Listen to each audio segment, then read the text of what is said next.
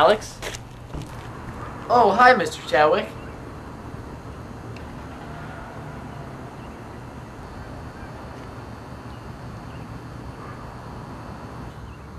Hi. What are you doing? Oh, I was just gonna go to my car, get a book real fast. I need it for next class. You're getting a book out of your car? Well, yeah, I was just gonna get a book real quick. Just, You know we get a set of rules at the school. yeah, well, yeah. Yeah, the rules are kind of like a board. You break the rules, break the board. And then there's no more board. It's kind of like the rules. You break the rules, you break the rules. And then there's no more.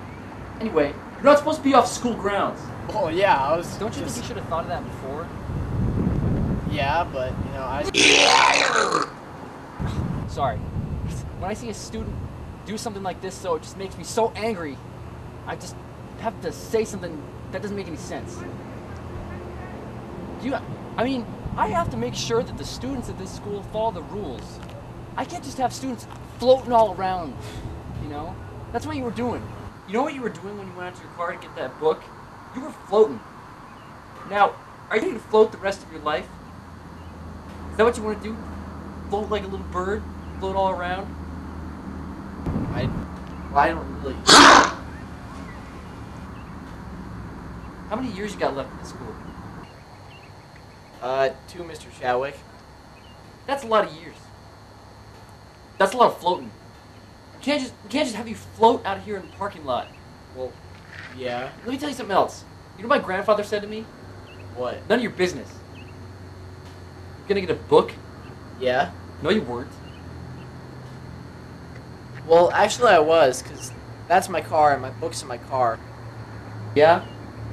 What's this? That's your tie. Is that how you kids say it? This is your tie. Well, I. or I are said they it was- your rules? And you broke them. Do you think this is your car? Yeah. Let me show you what I think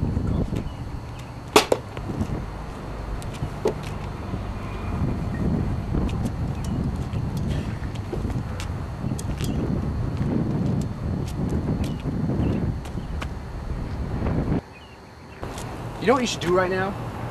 What? You should run over that Panther band bus. Do it!